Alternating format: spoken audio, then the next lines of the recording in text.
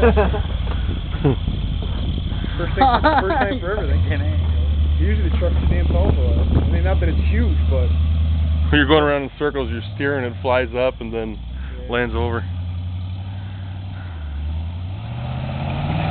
Some reverse circles are hard on the truck, I think. Well, anytime you got your wheels cocked to one side, you're putting a lot of strain on your yeah, U-joints and your shafts and stuff.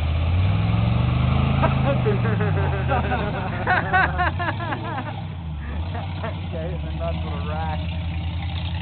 Another frog. Frog. Frog launcher.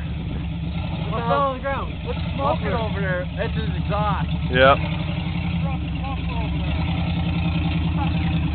No, he left his girl's muffler over there.